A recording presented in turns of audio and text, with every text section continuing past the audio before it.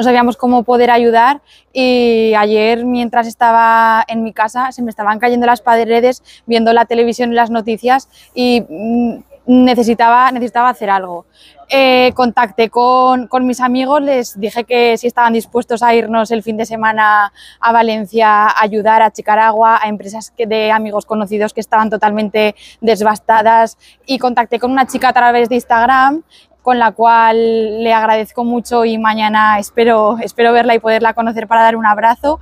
y me dijo que, que, estaban dispuestos a recibir cualquier tipo de, de, ayuda. Entonces empezamos a movilizar a la gente de Huesca a través del foro Huesca Excelente, un montón de empresas han colaborado, no me quiero dejar a ninguna y simplemente quiero agradecer a Huesca eh, mi ciudad porque es una ciudad muy solidaria que cuando movilizas a la gente, la gente no se lo piensa dos veces y quiere ayudar y, y aportar para nuestros vecinos de Valencia y que toda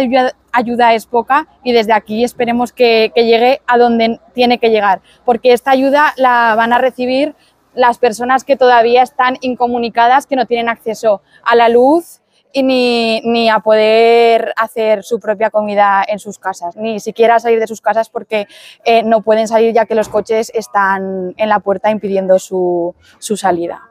Ahora va a hacer cinco años que el foro dio un ejemplo con el tema de las mascarillas, repartiendo mascarillas por toda España a mis compañeros, mientras yo pues, en aquella ocasión no pude hacer nada. Y ahora pues para mí me cuesta hablar porque estoy muy emocionado y muy orgulloso de que mi hija Belén pues coja el testigo y viva la responsabilidad pues como algo que va en nuestro ADN y que, como bien ha dicho ella, la ciudad de Huesca es un ejemplo y nuestros compañeros de empresarios del foro pues, pues han respondido pues con, de una manera pues, pues más que ejemplar.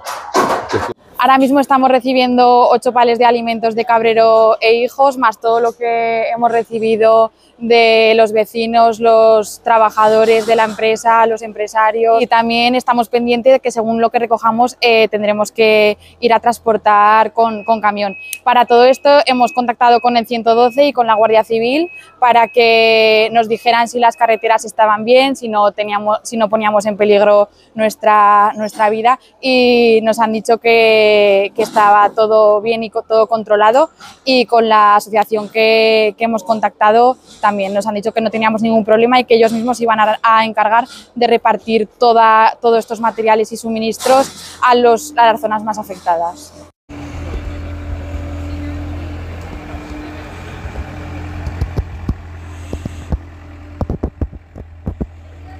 Tú muy bien lo dices, no es una acción de responsabilidades, es de humanidad y de